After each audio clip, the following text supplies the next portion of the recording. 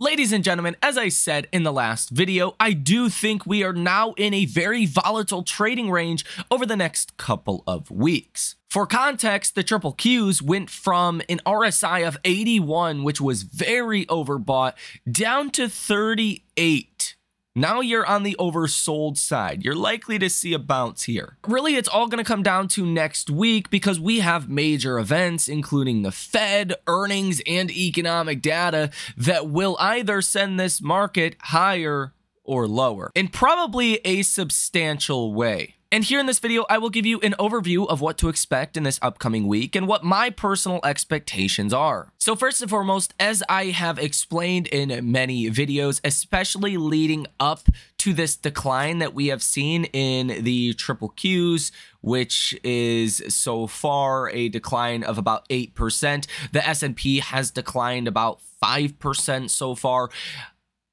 I think earnings were the biggest part of this decline. I don't think it was political uncertainty. I don't think it was any kind of growth scare. In fact, I know it was no growth scare or recession fears even in in spite of getting some bad data on friday we had durable goods orders that came in at negative 6.6% actually i believe that was thursday if if i'm correct which is not great. That was the worst number in years. But I don't think Wall Street is concerned about political uncertainty yet. I don't think we know enough about Kamala Harris's potential policies or Trump potential policies for the markets to be too concerned about that just yet. I think an election correction is likely coming in September when we learn more about policies, and that's pretty typical during election years. But even heading into this drop, I was concerned that markets were pricing in too much good news for earnings. And we haven't seen earnings be a disaster. Like earnings have been okay. They they haven't been as good so far as other quarters, but they've still been good. They've still been okay for the most part meeting expectations. But when stocks were priced for perfection, meeting expectations was not good enough. And we'll see if we get bad earnings because if we do get truly bad numbers from any, especially of your big tech names reporting earnings this week, that's going to change things quite a bit. Because right now, we're meeting expectations. We're not getting bad earnings. We're not getting knock your socks off earnings. But if we get bad earnings, that's going to be problematic. Now, if we get knock your socks off good earnings this week or just continued kind of meeting expectations, then I think that does set us up for at least a near term bounce, probably to your 50 day moving average on the triple Qs, which would be upside of about $10 up to about 473 on those triple Qs. So this is your earnings lineup. On Monday morning, you have McDonald's ON Semi. Uh, Phillips, Bank of Martin. You have a lot of other banks as well. To, uh, on Monday pre-market. Monday and after hours, you have Tilray, Symbotic, F5, Lattice, and I mean, there's going to be a bunch of other companies, but uh, those are some of the ones that you guys might know of. Tuesday pre-market, you have SoFi, PayPal, Pfizer, BP, P&G, and Merck, as well as JetBrew, JetBlue, and Enterprise Products partners. Tuesday and after hours, you have AMD, Microsoft, Arista, Starbucks, Pinterest, First Solar, Caesars, Lemonade, Electric Arts, and GeneX. Wednesday, pre-market, you have Boeing, Norwegian Cruise Line, Wingstop, Kraft Heinz, Altria, Humana, Cameco, Generac, MasterCard, and Teva. Wednesday and after hours, you have Meta, ARM, Qualcomm, Carvana, Lam Research, Western Digital, Riot, and Paycom. Thursday pre-market, Moderna, Canadian Natural, uh, Crocs, Mobileye, ConocoPhillips, Wayfair, SiriusXM, Canada Goose, and a couple of others. Thursday and after hours, you have Amazon, Apple, Intel, Coinbase, DraftKings, Roku, Block, um, Marathon, Bookings, and Mercado Libre. And then Friday, as you typically get on Fridays pre market, you have oil companies and mainly healthcare companies. So this week, Oh my gosh.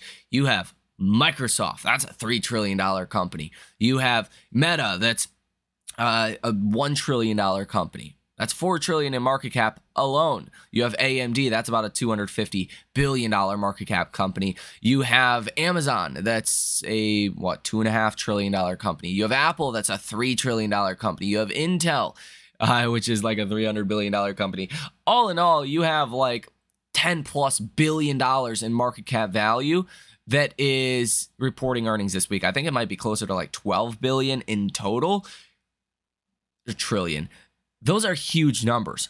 That is three over three times the market cap value of the Russell 2000. Like this week is the earnings week. Last week didn't matter. That was crumbs compared to this week. Now, if Microsoft, Amazon, Apple, AMD, Intel, Qualcomm, or uh, you know uh, Lam Research for that matter, some of your AI stocks or your big tech names, Meta, ARM, group those in there as well. If they report bad earnings, then this market's going lower. Okay, because expectations are still high. What we've seen out of big tech so far, at least Google, was a great report, but it wasn't impressive. Okay. There's a difference between a great report and an impressive report. NVIDIA, they give you impressive reports. Knock your socks off, impressive reports. But Google's was just kind of in line. It was good. Expectations were high. It, it just came in good. Now, if you see any of these companies miss earnings, you're going to have some pain for markets, especially in the triple Qs. Now, I think the base case assumption, the most likely outcome is at least a meet across the board, given what we've seen with Google earnings. But it is a possibility, and I think the risks are skewed to the downside that you do have a little bit worse earnings than expected. I think there's a greater chance of disappointment this week than large upside surprises but with the expectation we're probably going to meet estimates across the board. Now, I think at this point, with the 8% drop you have seen in the triple Qs, meeting expectations is probably going to be seen as good news. Okay. Apple has fallen from two, what, 235 or so down to 217. I think meeting expectations in the case of Apple is going to be okay. Same is true for Meta, that has fallen from what the highs of about 540 down to 465. I mean, meeting expectations is probably good enough for Meta. What about Amazon? Well, I think to a lesser extent, that's still true as well. Amazon went from about 202 at the all time high down to 182. I mean, you've kind of reset expectations with all of these stocks before they report earnings.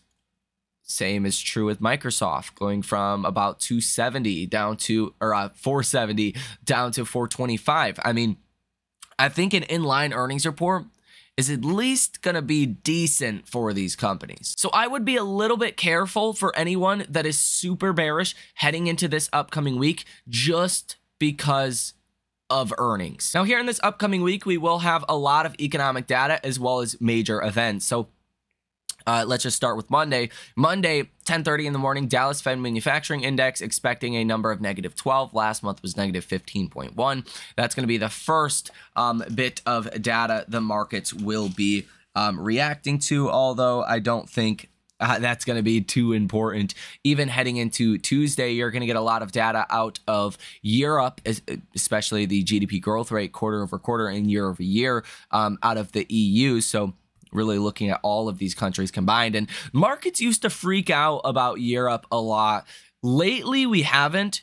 Um, lately, markets don't care about Europe too much, but you know, with with bad numbers in Europe, that can definitely cause a little bit of fear in our markets. But on Tuesday, you're going to have S&P Case Shiller home price month over month and year over year, expecting these numbers to come in okay year over year, expecting 6.9% increase, and month over month expecting a 1.2% increase. That's crazy for home prices on a month over month basis. Um, so that would not necessarily be good if if those numbers um, come in high. Now for um, Tuesday as well, 10 o'clock in the morning, Jolt job opening. So think about it like this this is really a metric of evaluating the economy um, more than the job market itself. Because let's say you're a Dollar General, for instance, and you're looking to hire five employees. That Dollar General is probably quite busy. You can use this analogy for a restaurant as well. If you're looking to hire five employees, um, minus a bunch of people quitting, which is not normal for you know the economy as an aggregate, then you're probably doing okay, right? If you're only looking to hire one employee compared to five, you're probably doing not as good as if you were looking to hire five. So if the job openings number declines, especially at a fast rate, that's a sign the economy is slowing down.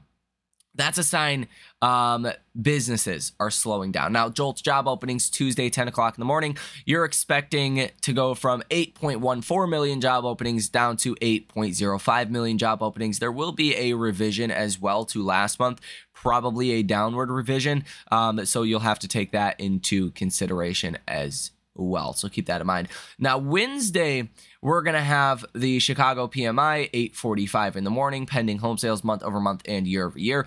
But the main thing here, guys, is the Fed. The Fed interest rate decision on Wednesday, and then the conference at 2:30. The biggest thing that, that really matters to markets from Fed Jerome Powell this Wednesday, we're not expecting any change to the Fed funds, you know, policy rate. Okay, the Fed's not going to come out and cut rates. Technically, there is, last I checked, about a 5% chance, now a 6.2% chance of a cut coming July 31st. But the Fed's not going to do that. That would really spook the markets. That that would cause a crash if the Fed came out this Wednesday and cut rates.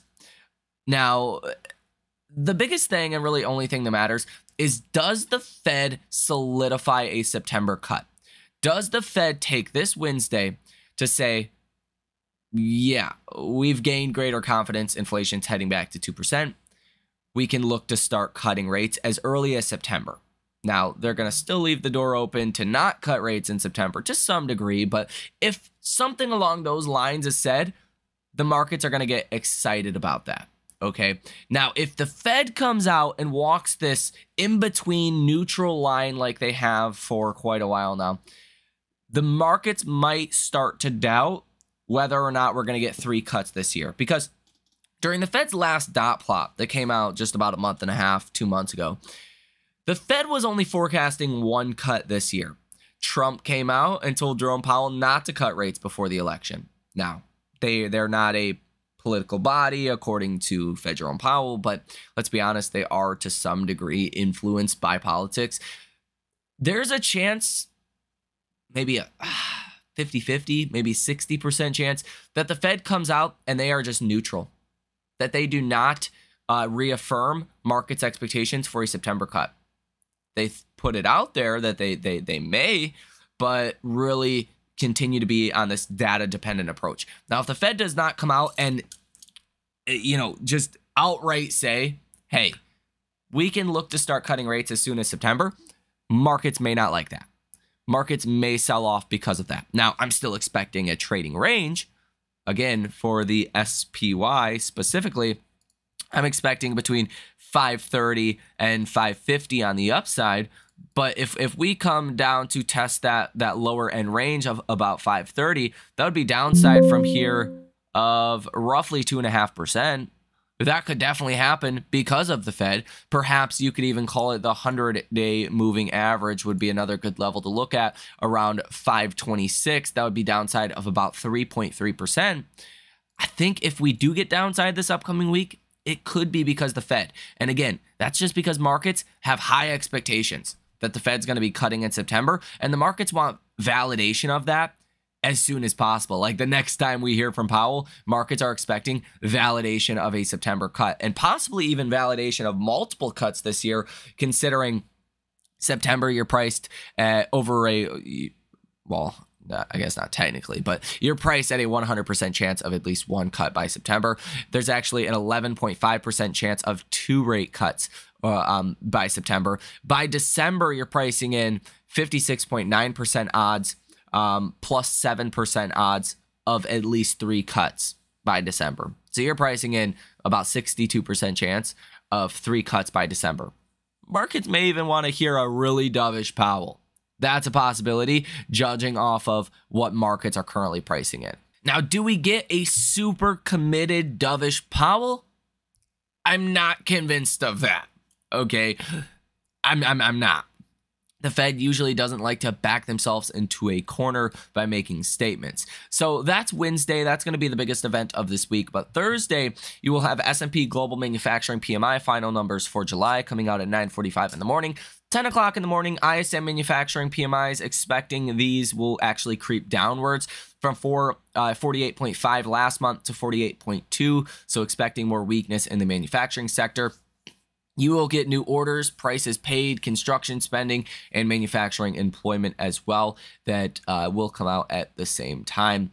Uh, but again, likely really throughout the rest of this week from Wednesday through Friday. It's probably going to be all about the Fed, at least until Friday morning when you have non farm payrolls. You're expecting 185,000 job ads. Last month, you came in at 206,000 job ads. But really, the most important thing is the unemployment rate uh, because that has been ticking up just a tenth of 1% over the last, what? I believe it's the last four reports one, two, three, four.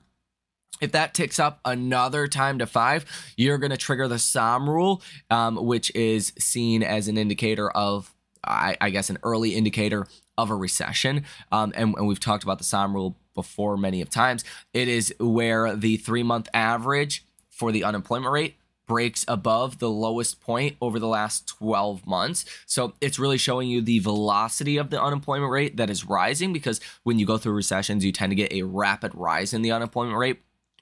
And if we go up another tenth of 1%, you're going to be breaking that 50 basis point change in the last three months.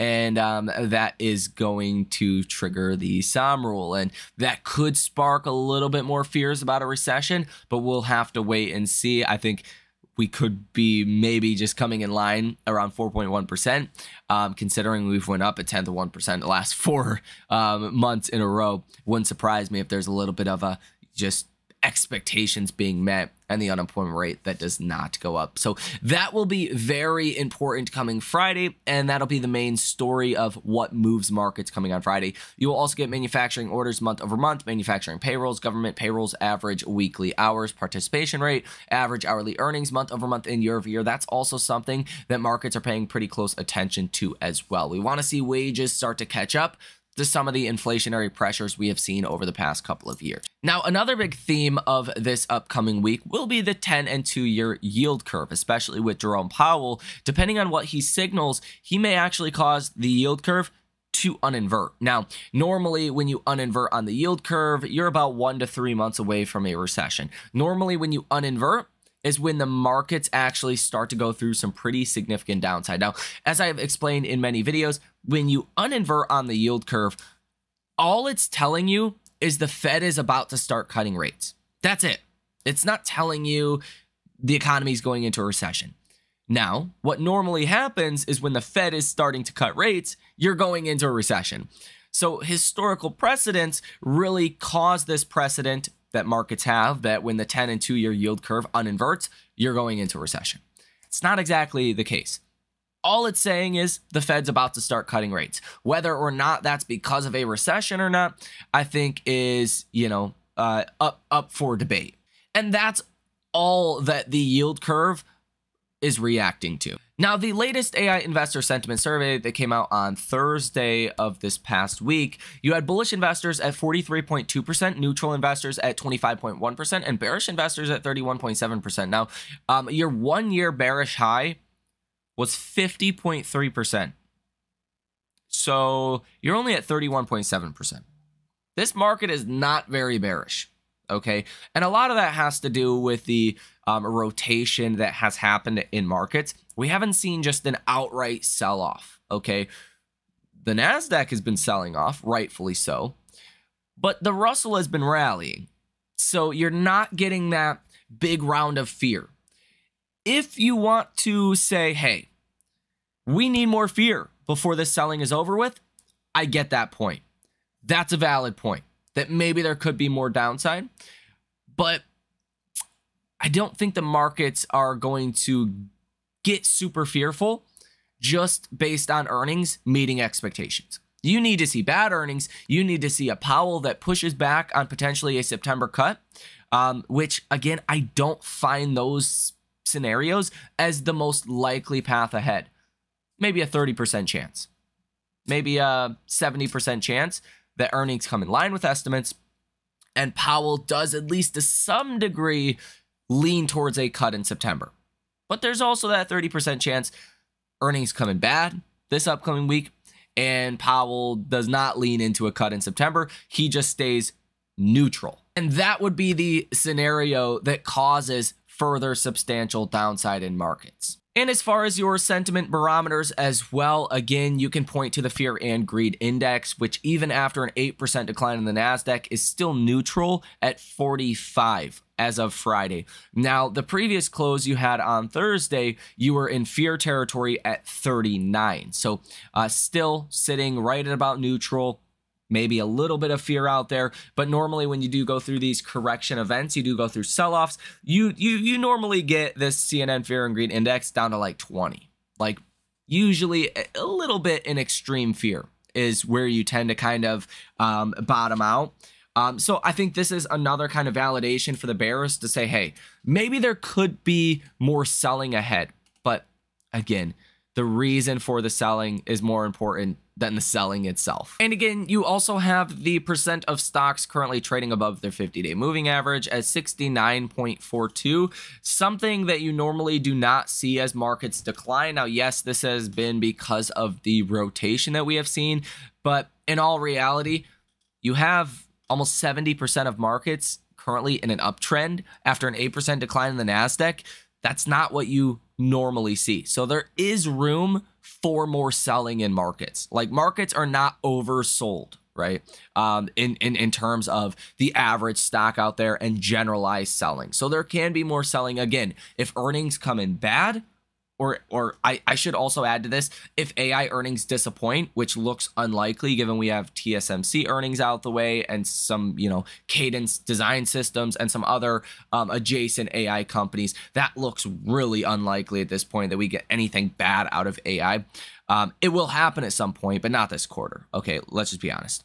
Um, but again, if we get bad earnings or we get a Powell that is just so neutral it's disgusting that's where you could get more generalized selling, especially in the Russell and especially in some of the areas that have recently started to outperform. Now, again, that's not a base case. There's about a 70% chance we get a Powell that confirms September's likely to be the, the cut and earnings come in line with estimates, and that's going to be enough to at least give you a short term bounce. But again, overall, I'm still expecting a trading range um, in the best case scenario for this upcoming week or the worst case scenario for this upcoming week. Um, I'm still expecting in S&P that SPY that trades between 530, call it your 100-day moving average on the lowest extent around 526 and 550. I don't think you're going back to all-time highs anytime soon. At least not over the next five or six weeks. Um, I think there will be a larger correction around the political uncertainty in September. Perhaps in August is a possibility as well. Although I think you want to get through the first debate and let the campaigns really get rolling, but before more uncertainty comes in um, from that regard. And and historically, right. End of August, September tends to be when you get that election correction, if not in October itself. But I do think it's going to be very volatile, and I think we can expect a lot of 2% up days, 2% down days, 1% up days, 1% down days. I think that's going to be the new normal over at least the next really three to six months here. So let me know what you think about this information down below in the comments section. Hit the like button as well as subscribe to the channel if you have not done so already. You guys have a fantastic rest of your day, and I will see you in the next one.